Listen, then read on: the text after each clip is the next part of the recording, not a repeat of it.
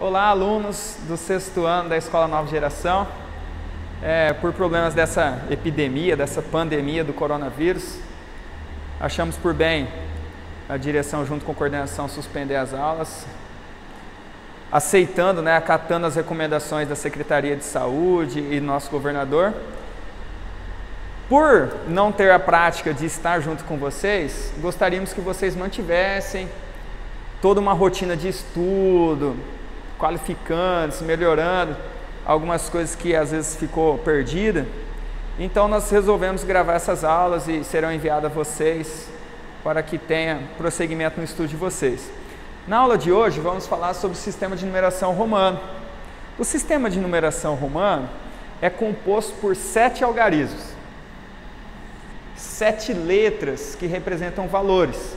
O I corresponde a 1, o V corresponde ao 5, o X corresponde ao 10, o L ao 50, o C corresponde a 100, o D corresponde ao 500 e o M corresponde a 1000.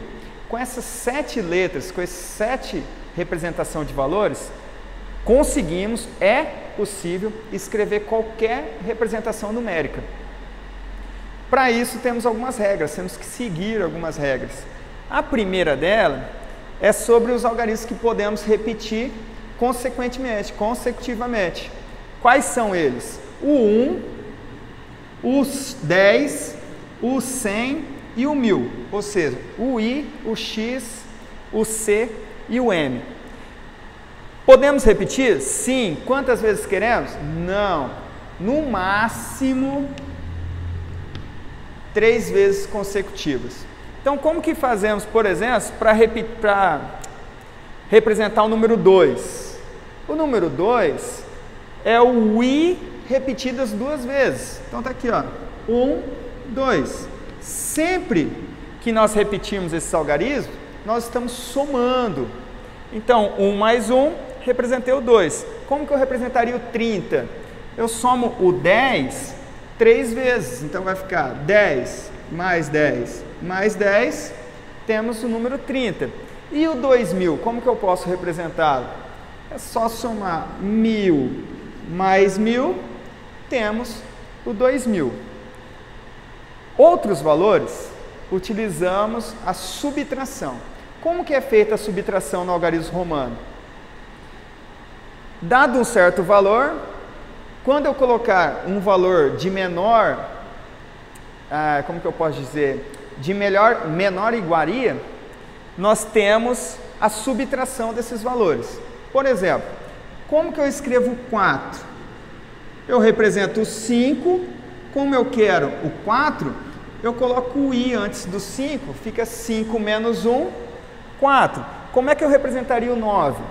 10 menos 1, 9. Como que eu represento o 40? 50 menos 10, 40. O 90, 100 menos 10, 90.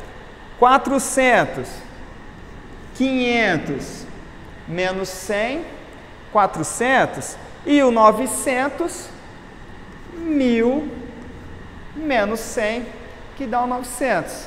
Agora vocês terão uma bateria de exercícios. Espero que resolva com essa simples explicação que eu dei para vocês. Obrigado. Nos dias atuais, a maior representatividade dos números romanos estão nos livros de histórias ou alguns contos que representam os séculos. Os séculos sempre serão representados em números romanos. Sempre. E como podemos fazer para determinar a qual século aquele ano pertence? Temos duas regrinhas muito básicas também, ó. Se o ano terminar em 00, como por exemplo, o ano de 1400, os dois primeiros algarismos, o 14, será o nosso século. Logo, 14, século 14. Tranquilo. Se não terminar em 00, temos uma segunda regrinha. Por exemplo, o século de 1672 não termina em 00. Se ele não termina em 00, devemos, nos dois primeiros algarismos, o 16, acrescentar mais um. 16 mais 1, temos 17. Então, o ano de 1672 pertence ao século 17. É isso, duas regrinhas bem simples, básicas, para a gente determinar qual ano pertence a um determinado século. Bons estudos, pessoal!